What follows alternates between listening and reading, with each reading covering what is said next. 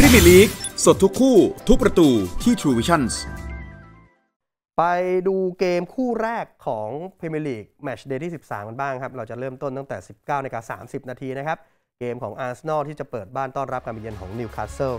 อาร์เซนอลของมิเกลอาร์เตต้าเพิ่งเสียสถิติ ชนะอ่าไม่แพ้ใครทุกรายการมา 8 นัดติดนะคุณปาล์มครับด้วยการไปแพ้ทางด้านของลิเวอร์พูลมาที่แอนฟิลด์0ต่อ 4 ก็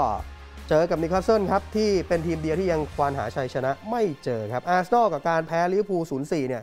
เอ่อมันสะท้อนอะไรได้บ้างครับ เพราะว่าหลายคนก็มองว่าโอ้อาร์เซนอลมาดีแล้ว แต่ว่าบทสุดท้ายไปเจอทีมแกร่งอย่างลิเวอร์พูลโดนไปถึง 4 ประตู ผมว่าอย่างหนึ่งก็คือ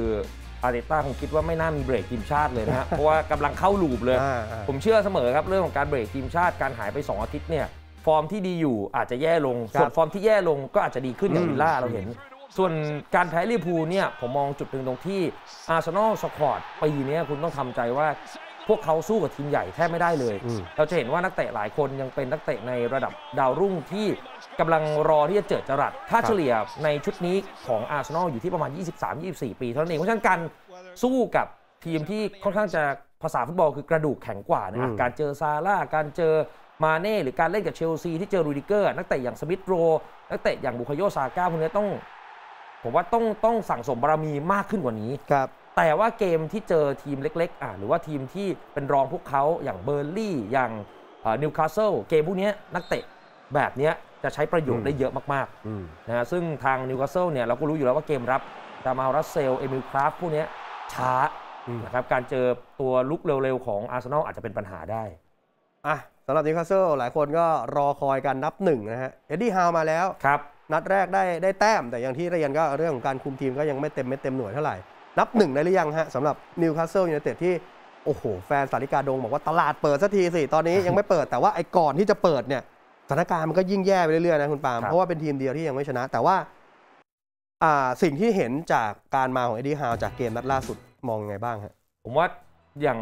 สไตล์การเล่นผมว่าก็คล้ายๆกับบอร์นมัธคือเป็นบอลพื้น ซึ่งนิวคาสเซิลน่ะ เราเห็นแม็กซิแมงเป็นตัวเลี้ยงอยู่แล้ว เราเห็นครับอัลมิรอนเป็นตัวเลี้ยงอยู่แล้ว แต่ปัญหาหลักคือเกมรับไม่เหนียวแน่น แล้วก็กองหน้าตัวเป้าก็พึ่งพาแค่คัลลัมวิลสันคนเดียว ก็อย่างที่คุณสุรเดชบอกนะผมว่าแฟนนิวคาสเซิลคงรอให้เอ่อเปิดตลาดก่อนครับตอนนี้คือนับถอยหลังอย่างเดียวแล้ว แต่อืมก่อนที่จะนับถอยหลังเนี่ยอย่าเรียกว่าคะแนนห่างจากอันดับอืม16 17 ให้มันเยอะมากอืมเพราะฉะนั้นผมมองว่าคู่นี้อาร์เซนอลสถิติในการเจอนิวคาสเซิลเนี่ย 18 เกมหลังสุด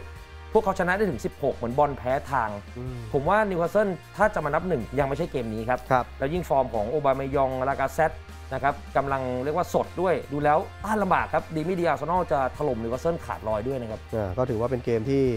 ถือว่าอาร์เซนอลเองก็หมายมั่นปั้นมือนะครับในการกลับมา เดี๋ยวรอติดตามนะครับแฟนอาร์เซนอลอาจจะพ่ายแพ้มาในเกมสัปดาห์ที่ผ่านมาแต่เกมนี้ มีความสำคัญมากๆส่วนแฟนสาริกาดงเองก็ต้องการ 3 แต้มเหมือนกันนะฮะ ใช่ครับ ช่วงหลังมาเนี่ยก็ต้องการ 3 แต้มเพื่ออย่างน้อยๆ เดินหน้าไปก่อน ไม่พลาดทุกความมันของกีฬาระดับโลก บน True 5G เครือข่ายอัจฉริยะที่ดีที่สุด เพื่อไม่พลาดทุกคอนเทนต์กีฬาที่จะส่งตรงถึงคุณ สัมผัสชีวิตอัจฉริยะ ครบกว่า แรงกว่ากับ True 5G